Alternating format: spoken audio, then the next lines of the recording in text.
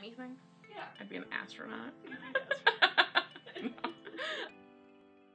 My name is Clara Hewins.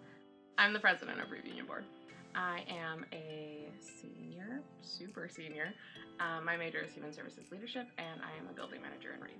One of the big perks of my job is becoming really close friends with the other people that I work with. It's really nice getting to go to work and see your friends there. Um, I used to be like elementary education, and after I started working here, I like realized I wanted to work more with like maybe like college age students. I was part of like my like hall council back in the day and I knew that I wanted to do something a little bit bigger than that.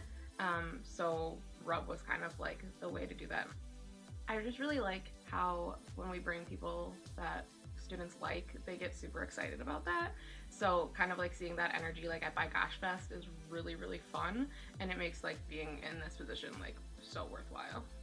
I just want to be happy in whatever I do because I feel like so many people are unsatisfied with what they do that I just don't want to be in that position. Like I just want to enjoy whatever it is that I do and be super thrilled to do it every day.